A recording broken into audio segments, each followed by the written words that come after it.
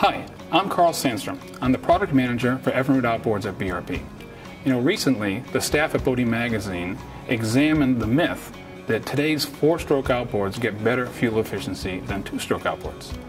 Well, after examining the data, the staff over at Boating Magazine concluded that when it comes to fuel efficiency, the differences were just too close to call between today's two-stroke and four-stroke outboard engines. So what are the facts? How can today's direct injected modern advanced technology engines compete with the best four-strokes on the market today in terms of fuel efficiency and actually beat them in head-to-head competitions? Well, we're about to find out. Let's take a look.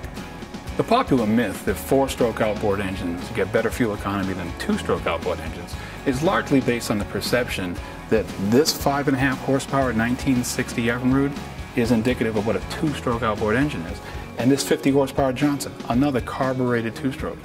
Well, these are the motors that the industry was built on. They were available for many, many, many years. But today they've been replaced by direct injected two-stroke engines with advanced technology such as the Evinrude E-TEC. And when you take a look at what direct injection does for a two-stroke outboard, one of the things it does do is dramatically increase the fuel efficiency of an outboard so that it can compete head-to-head -head with any four-stroke on the market today. Now let's take a look at the Evinrude E-TEC 150 horsepower direct injected two-stroke engine. This is a perfect example of what direct injected two-stroke technology looks like today. This engine is extremely fuel efficient, quiet, it's the most compact, lightest weight, highest performing engine in its class, bar none. Let's take a look into what technology helps it achieve that kind of performance. The problem with those older carbureted two-stroke outboard engines is that they used a carburetor to introduce the air and fuel into the engine and ultimately into the combustion chamber. In doing so, some unburned fuel was allowed to escape out of the exhaust port. That resulted in higher emissions and poor fuel economy.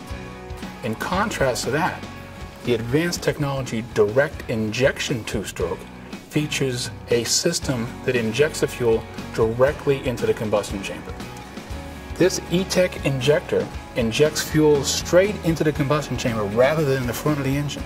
And what it does is it puts the fuel into the cylinder after the exhaust port is closed, acting very much like a four-stroke to make this a closed environment and not allowing any fuel to escape out of the exhaust. That results again in extremely good fuel efficiency and very low emissions. This engine not only is the best performing engine in its class, but it also is rated at a CARB three-star engine and features some of the lowest emissions in the industry today. Another advanced technology feature that the old carbureted two-stroke engine simply didn't have was an onboard computer. This is the onboard computer for this direct injected two-stroke Evinrude E-TEC. We call it an EMM. It's an engine management module. It's capable of making over 8 million calculations a second. And it controls everything from ignition timing spark duration, fuel injection, fuel injection duration, angle, all those things that the engine needs to maximize its power output, optimize its fuel efficiency, and minimize the emissions of the engine. Earlier, I mentioned that this Evinrude direct injected two-stroke 150 horsepower engine was the most compact and lightweight engine in its class. There's good reason for that. If you were to look at a comparable 150 horsepower four-stroke, you see that the cylinder head design incorporates all the components that are required for a four-stroke. Things like valves, camshafts, lifters, timing chains or timing belts, all add weight and complexity to a four-stroke engine. It's simply not present in a direct injected two-stroke. That means a more compact, lighter weight design that can result in 10 to 20% less weight for an outboard motor. And that can translate on a V6 to as much as 50 to even 100 pounds of additional weight for a four-stroke. A 100-pound advantage with a direct injected two-stroke can translate into better fuel efficiency on the water for the consumer. All of the Evinrude E-TEC outboard engines feature direct injection with stratified combustion. Stratified combustion allows the engine to operate extremely efficiently by only using a small portion of the cylinder's potential at slower speeds. In stratified combustion, because we're only using a small portion of the cylinder, it's kind of like having an empty room with an aerosol can that you're spraying the aerosol out and you ignite the flame at the end of it and you have a small combustion event going on in the room.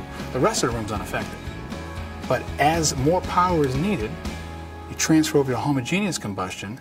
That's akin to filling an entire room with, say, an open valve from an LP tank. Now have a combustion event, and the whole room would be involved in the combustion event.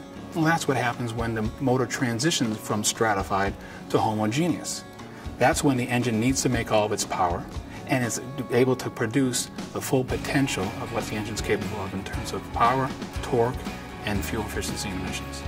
So as we can see, the myth that four-stroke outboards get better fuel efficiency than two-stroke outboards is simply that, a myth. Today's modern, advanced technology, direct injected two-strokes like the Evinrude E-TEC are vastly superior to the old carbureted two-strokes of the past. And they make a viable, smart option for anybody who wants a powerful, clean, fuel-efficient outboard engine.